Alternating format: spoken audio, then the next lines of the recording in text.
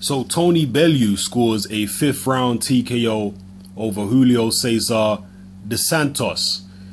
Now, when Tony Bellew turned professional, I was very surprised that he turned professional at light heavyweight because I was someone who had seen a lot of Tony Bellew's amateur fights. I'd actually followed him in the amateurs and he was fighting at heavyweight at the time, which is around 200 pounds in the amateurs. And he was fighting big guys and knocking big guys out, certainly in the UK.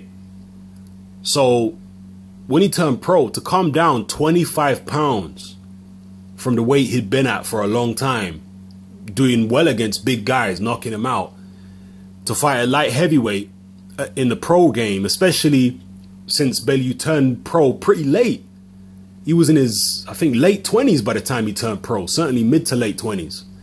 And at that age, losing 25 pounds of weight when you're used to fighting at a certain weight, I wondered whether that was a wise move. I mean, I, I, I didn't know that it would be a bad move, but I was pretty, you know, confused by that. I was pretty intrigued as to why they were making that move. You know, it's a, it's a lot of weight to lose, especially at that age.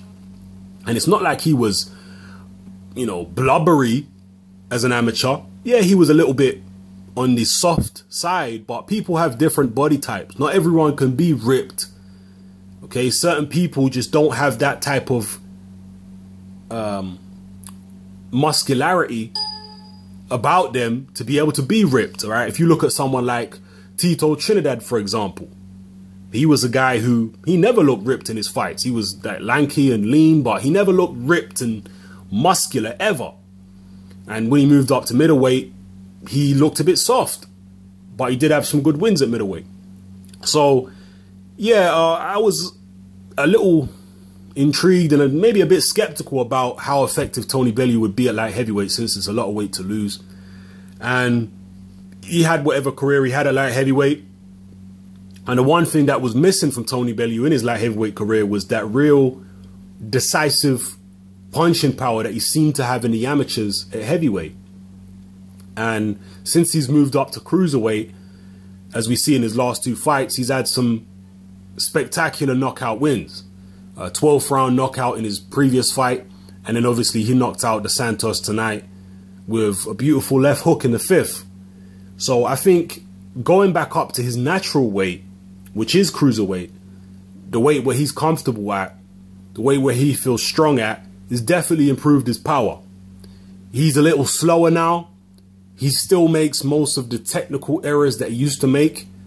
He's never going to be faster anyway that he's at, particularly fast. Tony Bellew is who he is, but he's been given power now and the power to actually knock out cruiserweights. This guy, dos Santos, okay, I'm not saying he was the greatest fighter in the world, but he was certainly in shape.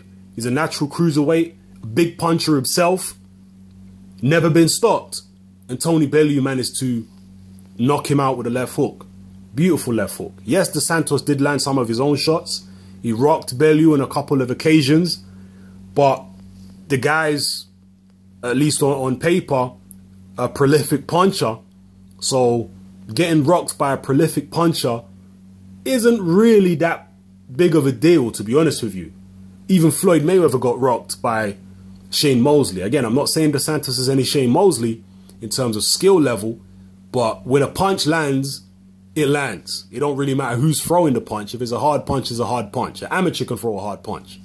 A guy on the street, believe it or not, can throw a hard punch. You know, certain guys on the street. Anyway, so I thought it was a a decent performance by Bellew. He's never going to be an incredible fighter. You know, I think Dave Coldwell can improve him to a certain extent, but he, he's never going to be elite level. He is what he is, but he's certainly capable of getting back in there and duking it out with Nathan Cleverly again. There's still a lot of bad blood there. There's still a lot of needle there, and there's definitely going to be a demand for the fight because, you know, because of that bad blood, and they were going at it at ringside, shouting at each other and whatnot, and that is going to be good for publicizing the rematch. And the rematch is set to take place, I believe, later on this year, maybe October, November, around that time. Who do you think is going to win the rematch? Uh, the panel on Sky Sports was split. Uh, Paul Smith and Carl Froch believe that Tony Bellew, with his extra power at cruiserweight, is going to knock Nathan Cleverly out. Nathan Cleverly as well fought on the same bill tonight. He also won by stoppage, but he was fighting a much lesser opponent than the guy Tony Bellew fought. That has to be said. Um, but nonetheless, uh, Carl Froch and uh, Paul Smith feel that Bellew is going to knock Cleverly out in the rematch. But Glenn McCrory feels that Cleverly will beat Bellew again. Now, I know for a fact, I mean, it's not really a secret, that Carl Froch is pretty good friends with Tony Bellew. So he's biased. And Paul Smith is also pretty good friends with Tony Bellew. And he's also from the same city, Liverpool. So he's biased. So I'm not sure if they're being 100% objective or not. I'm not saying they they're incapable of it, but I'm just I'm not sure whether they're really being objective, whether they're thinking with their heads or their hearts when they say that they think Bellew's going to knock Cleverly out in a rematch. And Glenn McCrory, as far as I know, doesn't have any affiliation with Nathan Cleverly.